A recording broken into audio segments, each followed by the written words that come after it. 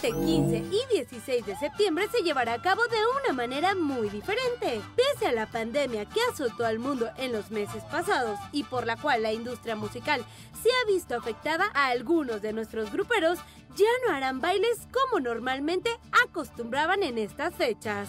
Sin embargo, no han perdido ni olvidado el folclore de la música mexicana. En este mes patrio tan lleno de alegría y fiesta, los gruperos nos mostraron su mexicanidad. Pues sí, pues ¿qué es lo que más me gusta de ser mexicano? Pues ser mexicano.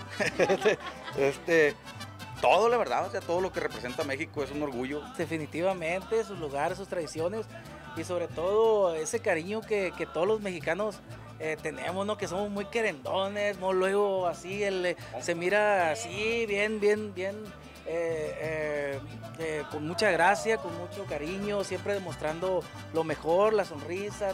Para empezar, mi país, ¿no? Mis raíces y mi gente, ¿cómo no?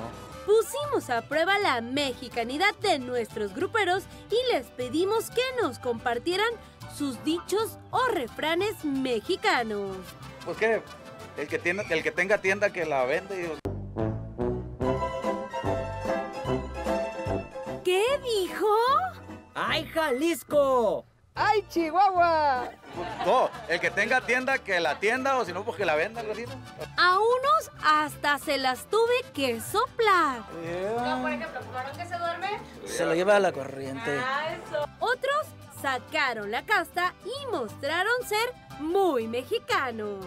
No, pues me gusta mucho el al mal, al mal paso darle prisa, ¿no? El que nace para maceta no sale del corredor, eh, no, no, todo el que es perico es verde, en fin. Hay muchos. Tal vez no disfrutarás de un concierto junto a tus artistas favoritos en estas fechas patrias. Sin embargo, recuerda que para todo mal, un mezcal y para todo bien, también. Si no, invitamos a que disfrutes de la programación de Videorola y te armes un fiestón muy mexicano. Hola, ¿qué tal? Soy su compa Eddie de los Buitres. Quiero mandar un saludo y también desearles buenas fiestas patrias, estas, estas fechas que son de las mejores, las más esperadas, la buena comida, la buena bebida. A todos les deseo lo mejor y pues especialmente a la raza que anda en el mundo artístico le mando un saludote, disfrútenla, hay que tomar y me gusta de lo mejor eh, estas fechas porque uno saca lo que trae dentro, lo que es ser un mexicano. ¡Y viva México! Informó para Videorola Mayra Alcalá.